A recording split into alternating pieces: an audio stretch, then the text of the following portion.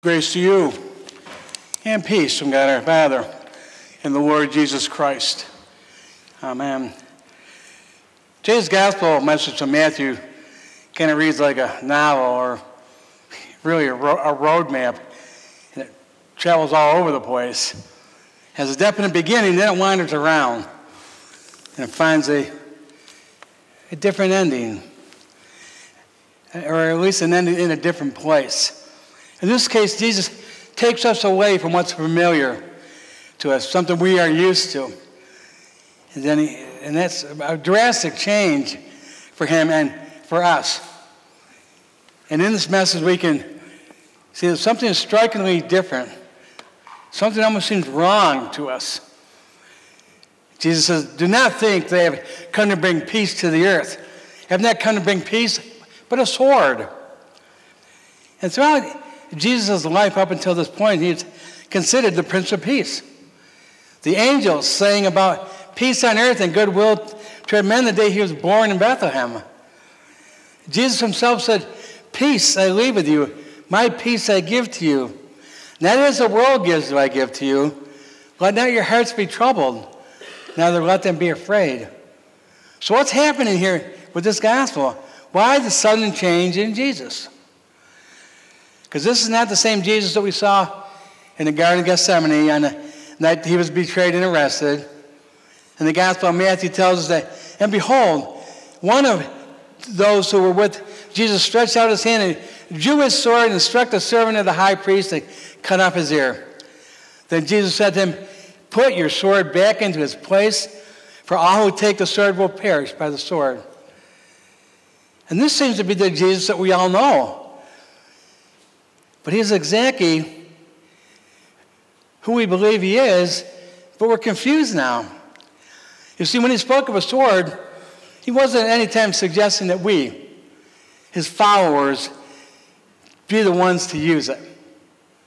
He's telling them that he foresaw the persecution that they would suffer because of him. And he predicted rightfully, and his disciples did not fight. Neither did they provoke antagonism by showing a quarrelsome spirit. They did their best to fly under the radar, but they were sent out to tell the truth. And frequently the truth hurts. People hate to hear the truth.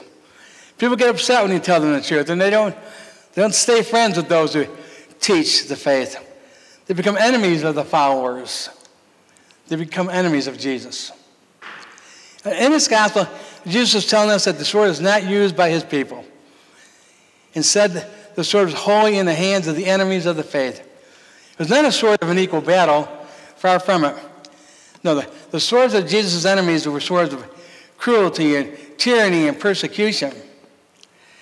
Then, once we think we've started to understand where Jesus is leading us, he, he changes direction again and takes us somewhere else. Someplace that disciples of Jesus expect to be and that's to a place where we are humbled. You may remember back, uh, I guess it's several years ago, I told the story once before. I was asked to officiate a blessing of motorcycles at a veterans fundraiser rally in Lockport. And I was not at all humbled by that invitation, I gotta tell you. My head was just big. I was delighted by the fact that of all the clergy of all Niagara County, they reached out and found me. And in the days right before the event, I checked their website to verify the time and the date. And then they said, busting the bikes by the Reverend Bernie Green. Boy, that took the wind right out of my sails. It was obvious that they chose me because nobody else wanted to. But it put me right where God wanted me to be, and it was humbled. He wanted me to remember it's not about me, it's about Him, it's about His Spirit. And then we remember that life is better spent serving God and His children and not in serving ourselves. We're called to acknowledge Jesus above anyone or anything else.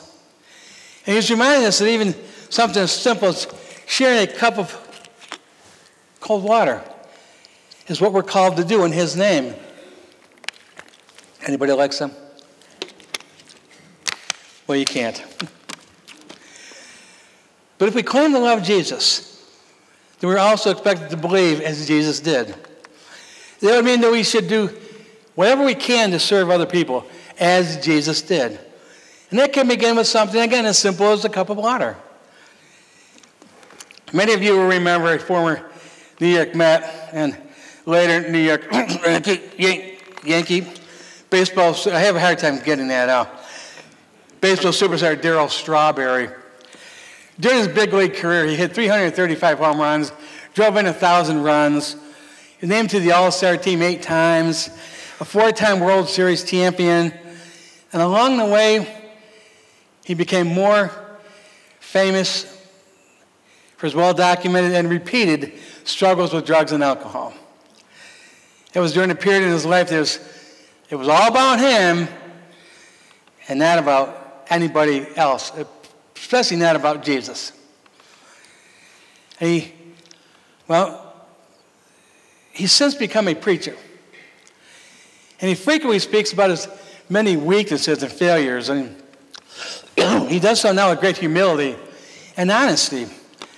And he didn't blame anyone else for his problems. He had a horrible childhood, and he could have, but he didn't. But when he finally surrendered his life to God, to Jesus, he was transformed into a new guy, a new man. He once said that when I get to the end of my life, God is not going to ask me how many grand slams I have. He's going to ask me, What did you do for my kingdom? That's a good question for all of us. Because I never hit a grand slam. So, what he's calling us to do is the same stuff God calls Darryl Strawberry to do.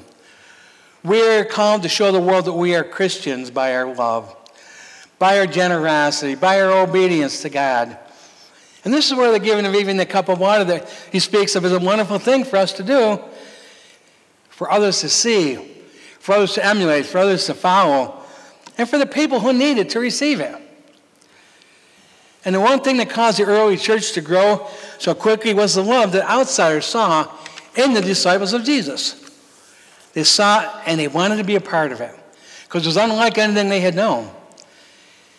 People today still wish to be on the loving, winning side. And we all can. And that's why I pray today that when we are persecuted because of our faith in Christ, that we know that we are not alone, but know that Jesus is with us throughout it all.